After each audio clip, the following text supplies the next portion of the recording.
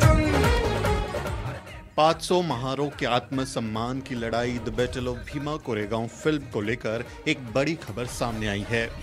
Corona काल में film की रिलीज़ को लेकर फ़िल्म निर्माता रमेश थिटे ने एक नया ऐलान किया है। उन्होंने कहा है कि कोरोना काल में जो फ़िल्म का हिस्सा बचा हुआ था, वो उसे शूट नहीं कर पाए। जिसके बाद फ़िल्म की रिलीज़ डेट को आगे के लिए टाल दिया गया है।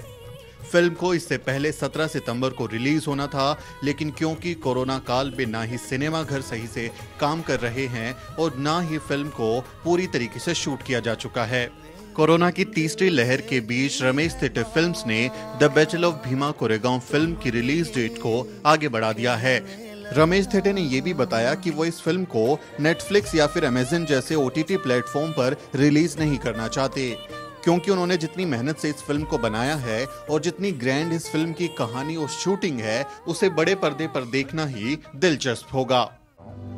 कि कोरोना के कारण बहुत सारी फ़िल्मों पर असर पड़ा है। न केवल हमारी, बल्कि अन्य जो प्रोडक्शन हाउसेस है बड़े बड़े प्रोडक्शन हाउसेस है उनके भी, उनकी भी फ़िल्में बनकर तैयार थी, है भी अभी भी, लेकिन वो रिलीज़ नहीं कर पाए।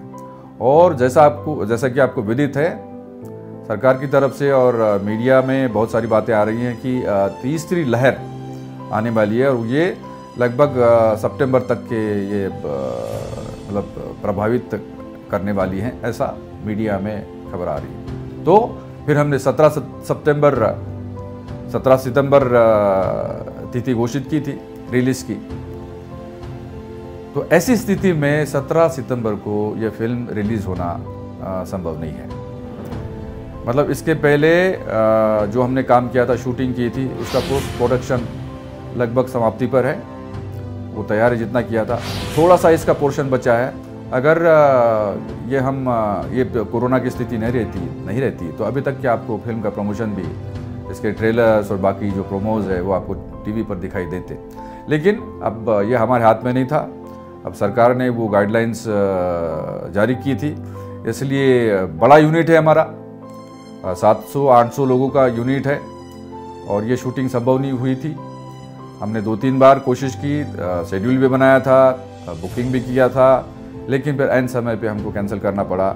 और इस कारण जो थोड़ा सा पोर्शन बचा है, कोई ज़्यादा नहीं है, वो अपन कर नहीं पाए। लेकिन अभी जल्द करने की हम कोशिश करेंगे और जितने जल्द हो सके इस फ़िल्म को हम रिलीज़ करना चाहेंगे। लेकिन एक बात मैं बताना चाहता हूँ कि हम इस फ़िल्म को ओटीटी पे रिलीज़ नहीं करेंगे। केवल और केवल इस फ़िल्म का जो कैनवास है, उस तरफ़ अगर हम देखते हैं तो ये फ़िल्म सिनेमा घरों में ही, बड़े पर्दे पर ही रिलीज़ होना चाहिए। ये हमारी मान्यता है। और बहुत सारे लोगों का भी यही कहना है। हमें बहुत सारे मैसेजेस भी आते हैं कि साहब, आप जो है इस फ़िल्म को ओ पे कभी रिलीज़ मत करना। इसका मज़ा नहीं आएगा।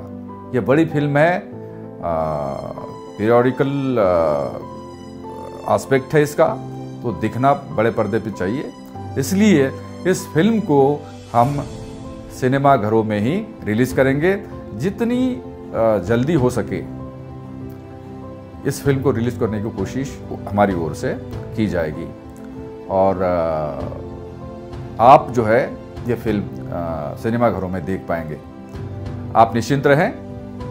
मेरा निवेदन इतना है, एक और निवेदन है कि जिन लोगों ने ये वी आई पासेस बुक किए हैं और ये समझ के बुक किए हैं कि हमें लकी ड्रॉ जिसमें हमने पाँच करोड़ पाँच लाख के इनाम रखे हैं दो करोड़ का पहला इनाम, एक करोड़ का दूसरा इनाम, इक्कीस इक्कीस लाख के पाँच इनाम और एक एक लाख के सौ इनाम।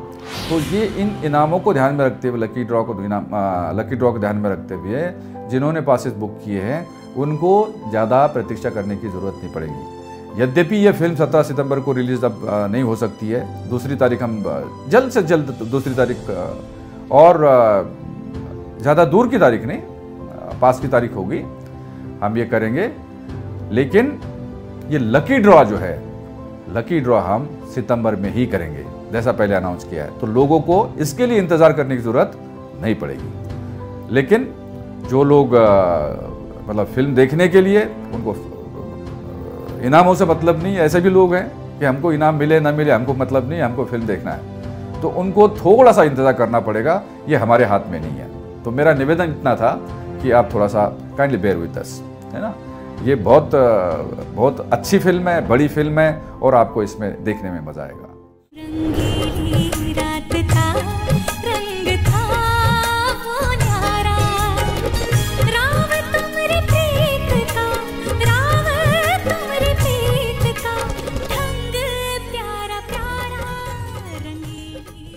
भीमा कोरेगांव की ऐतिहासिक लड़ाई पर बन रही ये फ़िल्म बहुजन समाज के लिए एक प्रेरक प्रसंग साबित होगी और इस फ़िल्म को लेकर ज़बरदस्त उत्साह दिखाई दे रहा है।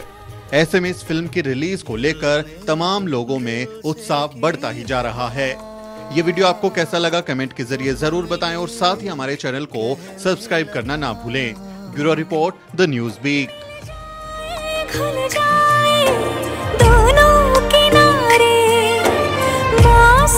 Ooh.